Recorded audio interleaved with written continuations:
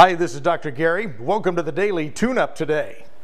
Well, we're off of a beautiful weekend here in Northern California. Wherever you are, I trust it was a good weekend too. Today, let's talk a little bit about our potential. You know, we have that little thing inside of us that makes us feel like we want to do something, but sometimes we're not really sure what it is, and we're stuck in a dead end job, and we're not sure if that dead end job is a lifesaver or if it's really kind of taking us out.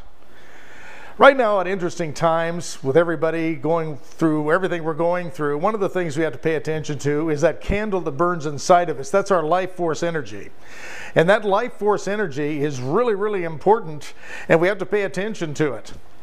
Many of us have the experience of doing something for a living, however, we're not passionate for it.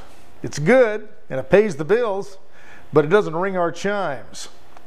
This week, what I want all of you to do, if you have this yearning to do something else, or it feels like you have another purpose in life, or you're just not passionate about what you're doing, it's time to start exploring that.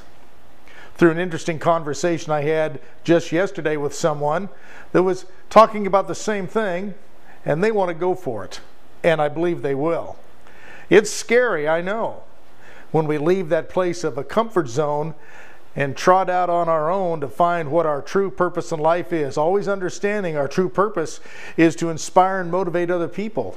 And I believe a lot of people right now, especially my age, maybe a little bit younger and maybe even older than me, can still inspire and motivate a lot of people if they just realize maybe their job's not done yet. You know if your job's done if you feel at peace, you feel satisfied with your life, and it looks like it's all worked out. If there's still something that you feel like you got to do, some people call it a bucket list. Maybe your bucket list is to finish your purpose in life.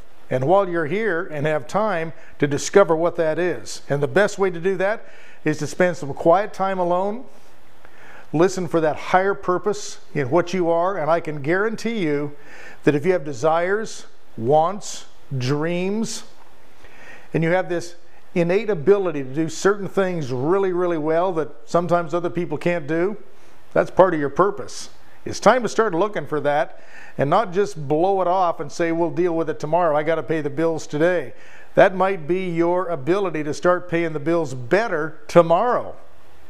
The universe has a unique way of rewarding you when you hear the bell call. And maybe today, if you just listen, you're going to hear your bell.